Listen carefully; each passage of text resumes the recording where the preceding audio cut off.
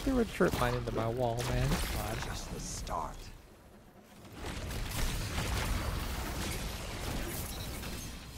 Let's go. What's up guys, Ventis here, and today we are back with some more Crucible gameplay, this time an Iron Banner Eruption, where we are running a one-shot Strand Titan build. Now, before I go over the weapon and armor combination of choice, let's jump into Berserker Titan itself, go over the abilities that we're running. First being the super ability Blade Fury, with the Towering Barricade, Strafe Lift, Frenzied Blade, and Shackle Nades. I'll go over why we're using Shackle Nades over Grapple in just a moment, but moving on to the aspects, we have Banner of War up first, which defeating a target with a melee attack, finisher, or sword raises the Banner of War, sending out periodic healing pulses to my allies and me, increasing melee and sword damage. Targets defeated by either my allies nearby or me charge the banner up to times 4, increasing the speed of the healing pulses.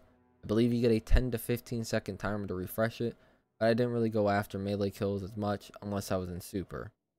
For our second and most important aspect, Drengr's Lash, activating your class ability creates a ripple in reality that travels along the ground, suspending targets and damaging them upon being hit. Moving on to the four fragments, we have Thread of Ascent. Activating your grenade ability reloads your equipped weapon, grants bonus airborne effectiveness and handling for a short duration, giving you a plus 10 mobility substat. Our second fragment, Thread of Evolution, Threadlings travel further and deal additional damage with a plus 10 intellect substat, as you can tell, there isn't any threadlings so far in the subclass. There aren't really any in the build, but the current exotic weapon I'm using does have a threadling slash hatchling refit, so I might come back and put that fragment to use. For our third fragment, we have Thread of Binding.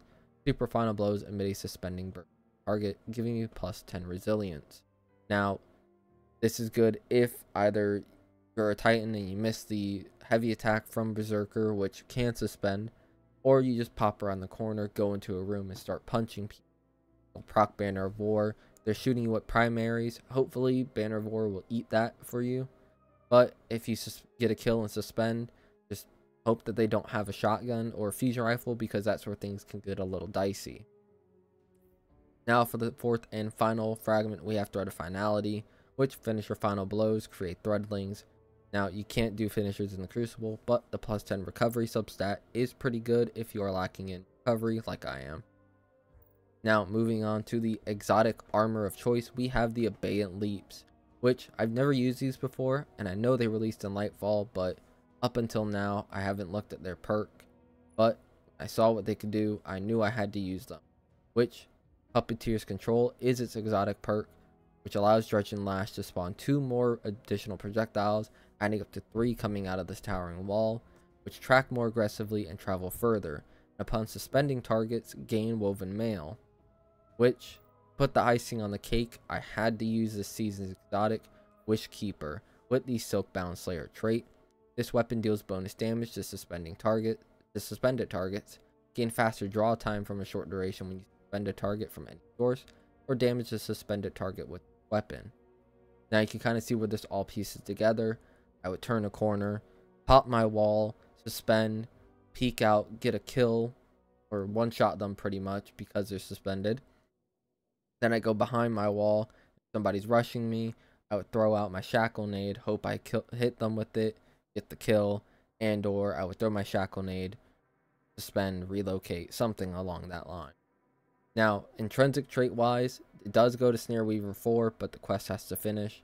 But precision hits and final blows build energy towards a snare weaver arrow that can be fired from the hip. Precision final blows give you 4. Precision hits give you 3 out of 6 stacks. Oh no, precision hits give you 1 out of 6 and final blows give you 3 out of 6.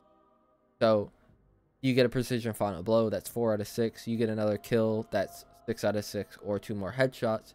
You get 6 out of 6 and you can fire the arrow from the hip which on impact arrow creates a pattern of traps that suspend nearby targets. So you could throw this into choke points on your flank if somebody likes to flank on the enemy team, or just throw it into a point where you think somebody's going to relocate to or end up at some point. I have the Snare Weaver eh, or the Enduring Snare refit, which makes the Snare Weaver traps last longer. I found that to be more useful. I've yet to unlock the other ones, but there is Vorpal Weapon and another perk alongside the Hatchlings but I think best case this is the refit you want. Moving on to the secondaries I use. I use Matador and Beloved. I tried to use Igneous with this, but I didn't really like the feel of it. Um, I did have quick access sling. It just didn't feel right for me. So I stuck with a sniper Matador. Moving on to the armor itself. I am very much resilience, discipline, and intellect focused to get my grenades back faster and have my wall back faster. This is mainly because I did have this for an arc build, but I've switched up things there. For mods, I have strand targeting, strand loader, unflinching strand, pretty much anything that uh, made the bow feel good because starting off, it was a little rough getting used to the playstyle.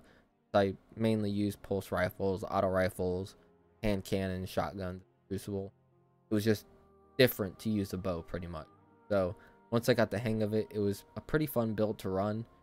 I also have fastball and utility kickstart so that I could get my wall back faster and also throw the shackle nade further. But if you like the content and you continue to come by the channel, be sure to like, favorite, subscribe, leave a comment down below, share the video with people. Helps out the channel, it helps out the video. I hope you all enjoy the content. I feel like rally barricade is just not the way to go. I still use tower. Yeah, it's like I want it the cooldown to be quicker, but it's Man, go not check worth that it. girl, man. Two down. Keep it up.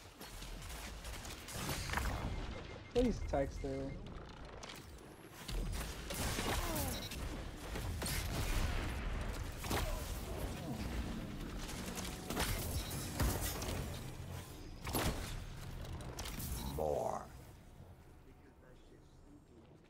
I'm sorry, hearing Shax in my ear go, more. No, I don't like that. Get the fuck out of my ear, you freak. Smell bro's breath through the mic. I don't need that motherfucker in my ear like that. One I'm actually minute. using Victory Void within your grasp. Warlock for that. Fight.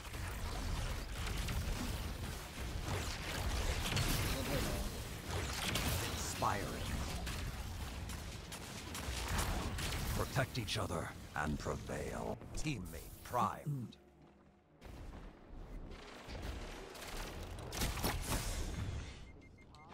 Do you have to do glaive damage for it to get a like a shield? You do. I didn't know that.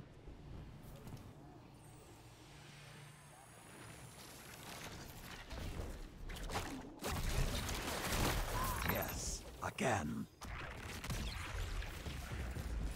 One falls, another must rise. Five minutes left. Sound. They're sitting all on the bottom left side, Tyler. Yes, they are. No. Oh, I said- got him still. Uh, yeah, I body shot him with the bow. The fucking dicko mode. Just the start. Oh! Tyler, I don't know what happened. I just one shot this dude with uh, the bow.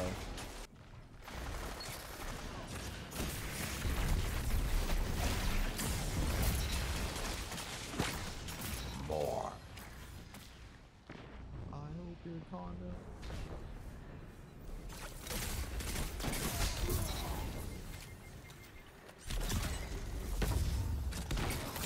One minute remaining. Promising. Imagine losing your own bubble. That's Dang. crazy.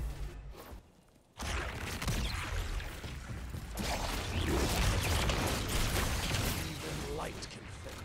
Promising.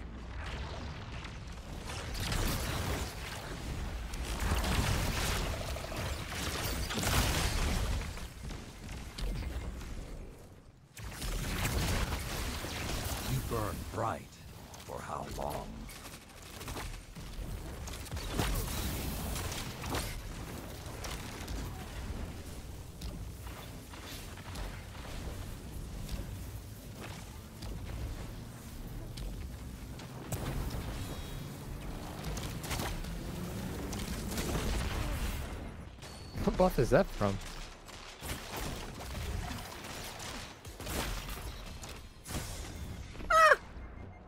This is so dumb.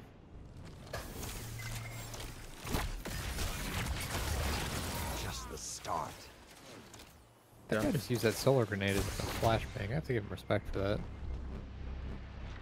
I've been playing C much CS, I almost looked away.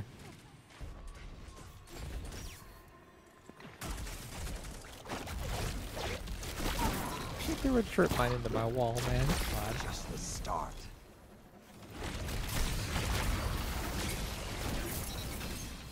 Let's go. That's the starter clip of the video right there.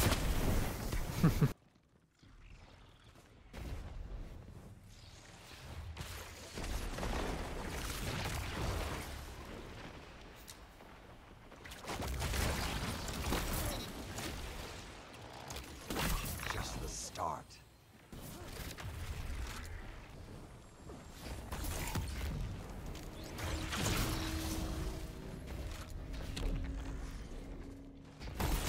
Just the start.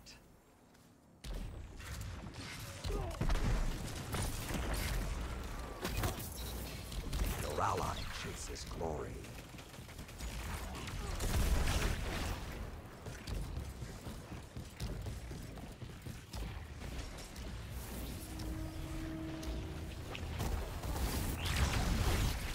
One falls, another must rise. Let them come. You're ready. Teammate primed.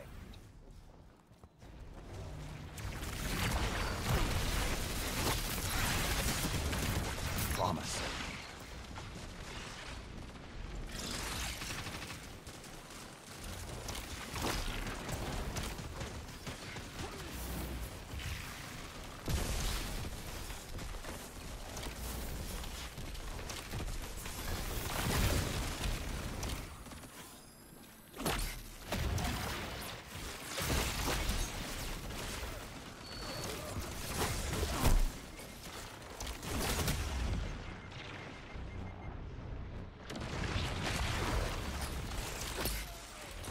More.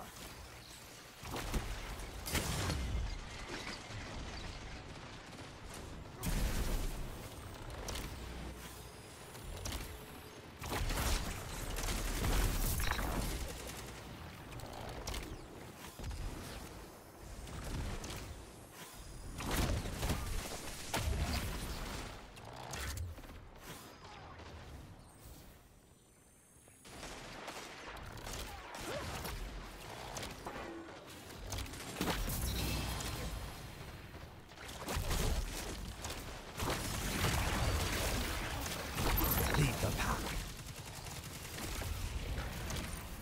Enemy prime.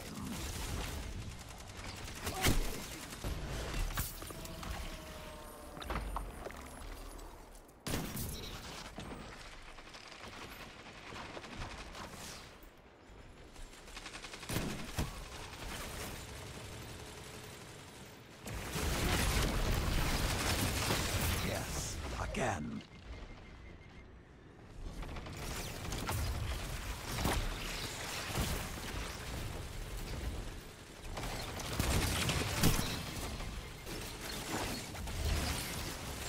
Yes, again.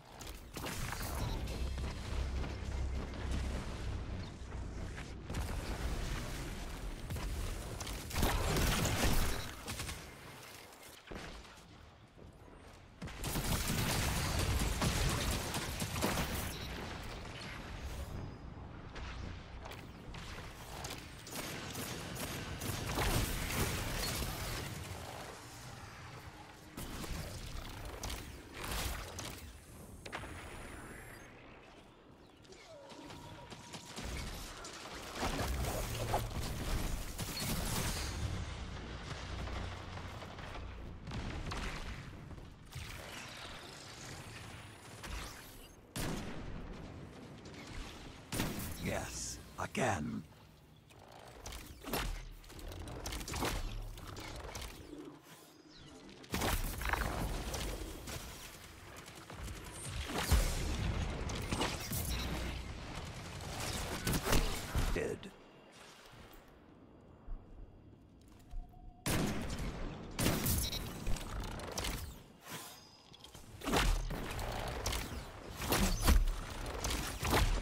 Yes, again.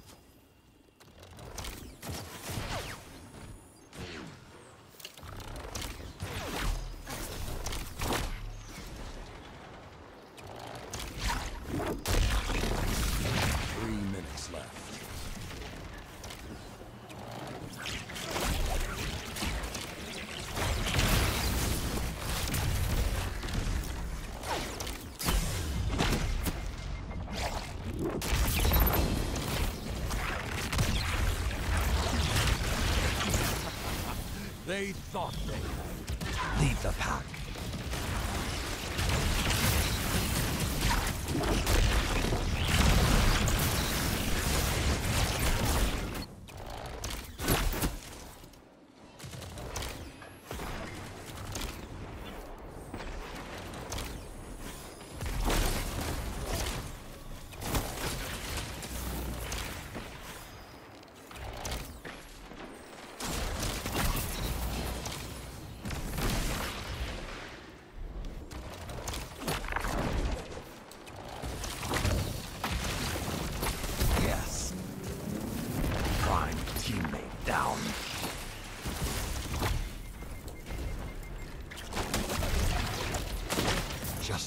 Start.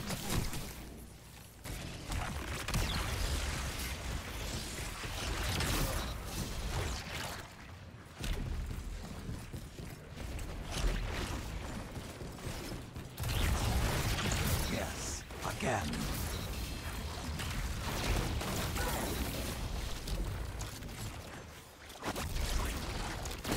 Expiring. Five minutes left. Sound tactics. An ally carved a path for you. I'm calling it. Guardian. Crush them. Your ally